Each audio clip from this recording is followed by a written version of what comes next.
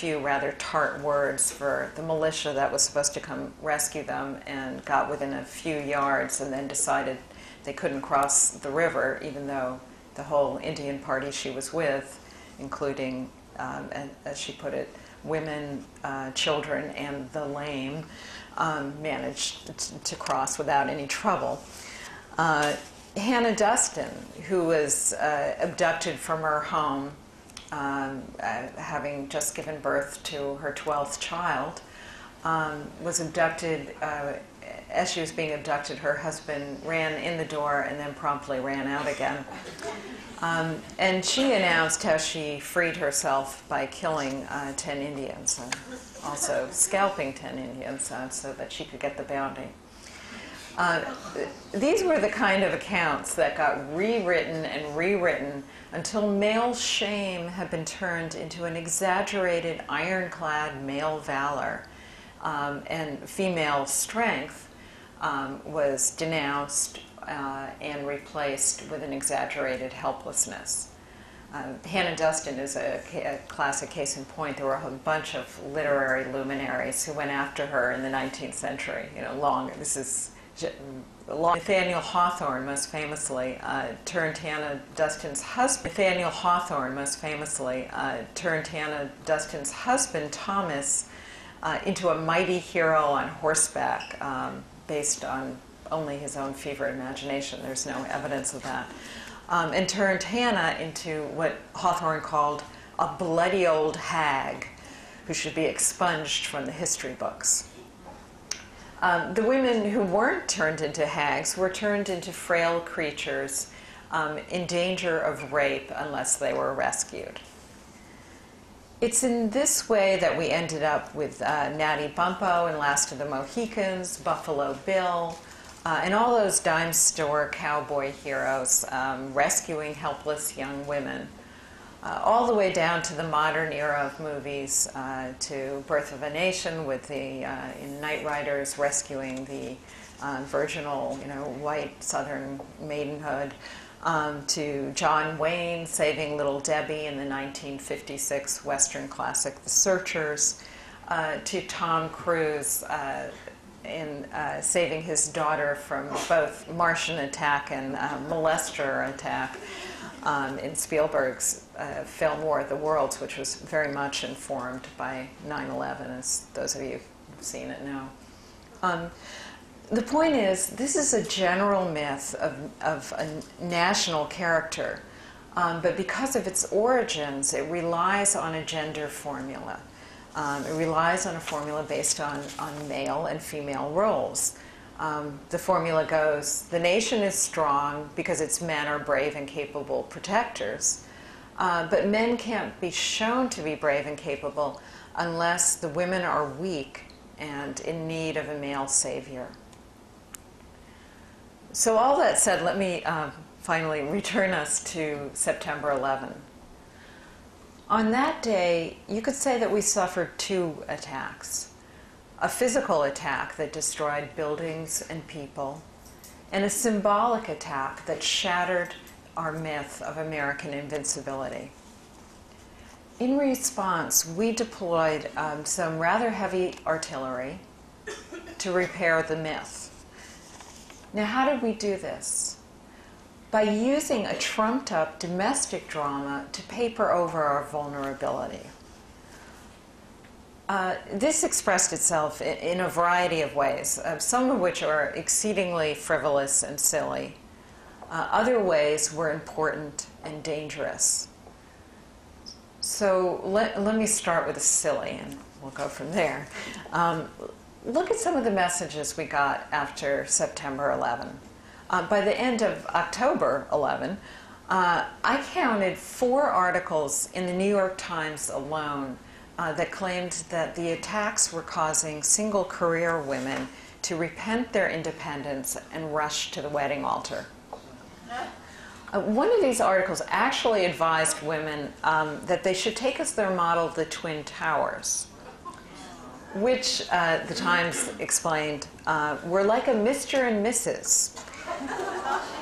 a quote, long married couple caught up in a 30 year romance. Uh, exactly. What? That's what I said. Um, single women who did not get married, uh, the Times said, would be seen as, quote, out of sync with the country's renewed sense of purpose, quote, small minded, and, quote, unpatriotic. Now, you can see this sort of weird line forming all over the media. Uh, newspapers and news weeklies predicted that 9 11 would take a deep mental toll on the unmarried because they'd have no one to call if their plane was hijacked.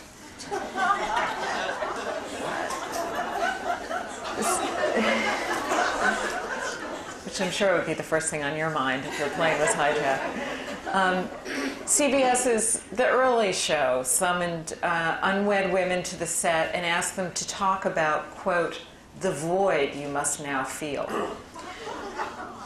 Even uh, the, the, tabloid The Star published a special post 9 11 issue with Hollywood celebrities um, berating themselves for failing to commit sufficiently to family life. 9 11 was also supposedly driving women to the nursery. Uh, the press claimed that the attack had set off women's biological clocks, uh, that there would be a big baby boom uh, nine months hence, uh, which, by the way, never materialized. Um, and having babies was now women's, quote, patriotic duty. Uh, women were also said to be responding to 9 11 by returning to homemaking. Uh, the LA Times said that the shock of the attacks was, quote, pushing some of the country's best prepared career women towards stay at home motherhood. Time magazine predicted that women would stock up on meatloaf pans and sewing machines. Stay home, the magazine said. Sew your own drapes and dresses. TV programmers announced that in 2002, the new shows for the quote post 9 11 inspired season uh, would be dramas about, guess what, women returning to the home. And the fashion industry promoted what it called crisis couture, uh, which would be all about, they said, chiffon, baby doll dresses, and white lace. This may be one of the reasons why there's still all these baby doll outfits in the, in the stores. As any of you have tried to find a normal shirt, will acknowledge. Um, women, Vogue magazine told us, would now want outfits that were, quote, distinctively non aggressive and no longer, quote, about dominance and power. Now, there was a tremendous amount of this silliness, but it also had a serious side. Uh, right after the attacks, there were an alarming number of articles and commentaries accusing women, uh, specifically feminists, of weakening our, uh, our military, undermining our resolve to fight, uh, and exhibiting traitorous behavior. You know, I actually, I just clipped from the paper, and you probably all have seen this. It was in Maureen Dowd's column about um, this is just two days ago. Uh, David Horowitz's you know conservative freedom center. Uh, urging college students to stage sit-ins outside the offices of women's studies departments to protest, quote, the silence of feminists over the oppression of women in Islam, which um, is kind of astounding when you think um, feminists uh, in America, particularly the feminist majority, were really the only ones speaking up about the Taliban um, years before you know, it ever registered on anyone's radar. Um, after 9 11, many feminist critics, uh, were from Katha Pollitt to uh, the novelist uh, Barbara Kingsolver to, of course, you know, Susan Sontag, uh, were vilified uh, for raising their voice in even the most um, uh, tempered ways and vilified in an extremely ugly fashion. Uh, more generally, women's voices began disappearing from op ed pages and news uh, uh talk shows right after 9 11. Um, in the first seven weeks following the attacks, the number of female guests on the Sunday morning news programs shrank by 40 percent even women who were heads of congressional subcommittees dealing with terrorism, like uh, Senators Feinstein and Boxer, uh, made no appearances on these shows. Now, so while women were being shrunk, uh, men were being inflated.